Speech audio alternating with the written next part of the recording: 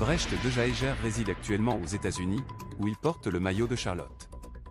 Il a donc de nouveau affronté Lionel Messi, avec qui il a pu discuter pendant le match. Dans un entretien accordé à Et Newsblad, l'ancien joueur du KA a révélé ce qu'il a dit à la star mondiale argentine. Les deux hommes ont notamment évoqué leur séjour en France. Je ne pense pas qu'il se soit souvenu de moi, s'amuse de Jaeger.